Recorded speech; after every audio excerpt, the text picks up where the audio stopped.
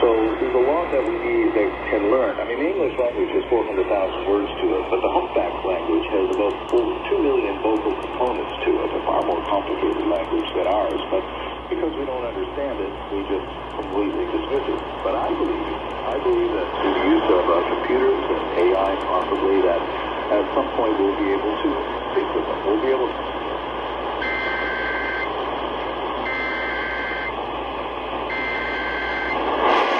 This is a test of the broadcast stations of your area.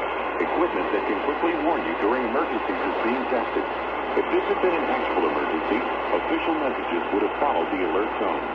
This concludes this test of the emergency alert system.